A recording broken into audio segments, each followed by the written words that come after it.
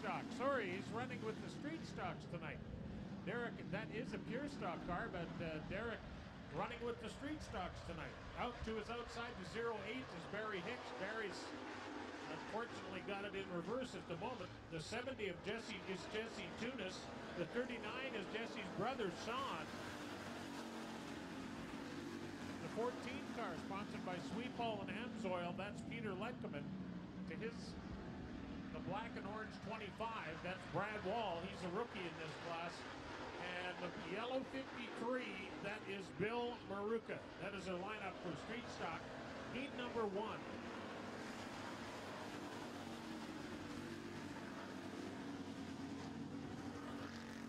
Jesse Tunis is the leader. Here comes brother Sean right in hot pursuit.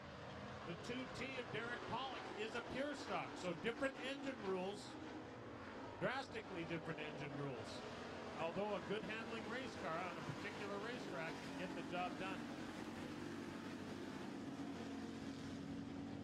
Jesse in this black and orange 70 car, Jesse Tunis is your leader. Brother Sean Tunis in the white Monte Carlo at second spot.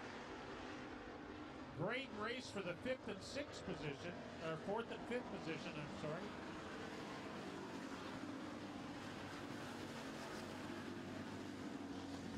Hot company closing in on Derek Pollock's number two. The yellow 53 of Maruka, who started in the seventh starting spot, is up and challenging for that number three position. You can see the additional straightaway speed on that back straightaway with the difference in engines. The 53 of Bill Maruka moves to third.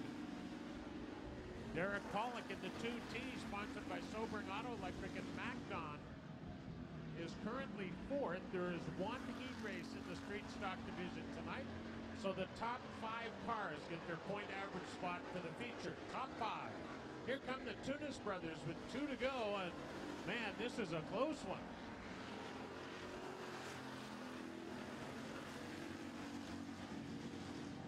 As you might imagine, there's more up for grabs here than just uh, points. But there's bragging rights around the dinner table on Sunday. And they oh man, side by side in turn four. The white flag comes out.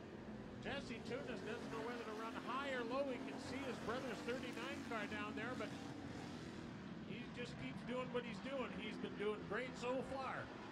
Jesse Tunis in the 70 car started third. His brother Sean started fourth. And here they come to the checkered flag. How about a hand for your winner? Jesse Tunis in the 70 car. Second spot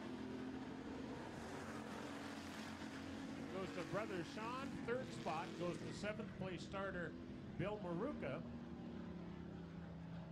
Fourth spot to the 2T of Derek Pollock and rounding out the top five and the final fifth and final point average starting spot. That is Bill Maruka. So, Investors Group is set up behind the main grandstand. Not only can they assist you with your savings and retirement plans, but they're also having a draw for a two seater ride. So, be sure and enter that.